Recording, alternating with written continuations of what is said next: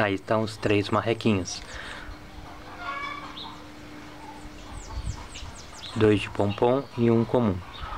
O preto com pompom bem bonito, né? E a pequenininha ali com um pomponzinho piquitito. Hoje eu trouxe eles aqui pra fora do cercado porque ontem eu vermifuguei, tô vermifugando todas as aves, né? Então ontem eu vermifuguei os marrecos e hoje eu tô vermifugando as patas. E aí eu deixei elas presas separadas aqui com vermífugo na água. Para elas beberem um dia todo só a água com vermífugo. E aí coloquei os marrequinhos para cá porque elas ainda batem neles. Então não gosto de deixar preso junto não. As três estão ficam muito interessadas nele, né? Neles, nos três. E aí ficam batendo, eu fico com medo de machucar. Eu quero esperar eles trocarem a penugem toda, né? Quando tiver com o corpo todo coberto de pena, aí eu vou deixar junto, mesmo elas de vez em quando batendo neles para acostumar, porque só vão acostumar mesmo a hora que ficarem juntos. Mas por enquanto eu fico com pena, fico com medo delas machucarem eles. Eles são grandes, né, mas são muito novos ainda. Eles têm um mês e pouquinho só. Cresce muito rápido, né? Muito mais rápido do que pintinho. E aí eles ficam presos ali dentro só com esse bebedor de barro aqui, né? Fazem uma bagunça danada. E é, aqui fora, por enquanto, tem só a, a, vasilha das patas ali. Mas já fizeram uma festa de manhã quando eu soltei eles aqui. Entraram, na, só que eu tava sem a câmera e não consegui filmar. Entraram na vasilha, tomaram um banho, fizeram uma bagunça aqui.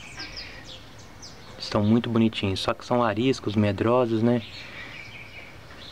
Faz uma bagunça também com a ração, ó.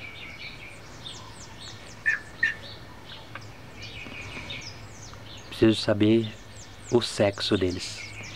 Qual é macho, qual é fêmea. Eu queria que o, o de pompom pretinho fosse o macho. E os outros dois fêmeas. Eu ficaria feliz.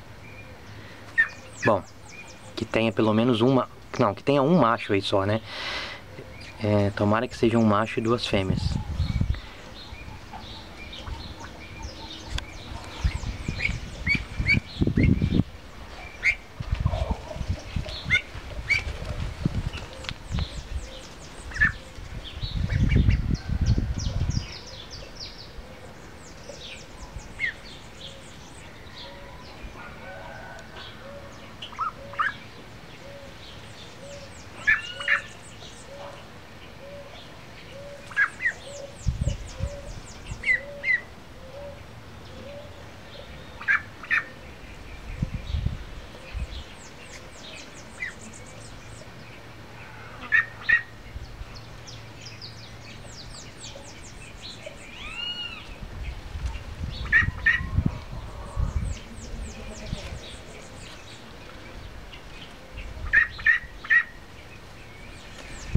Bom, gente, é isso. Só um videozinho rápido também.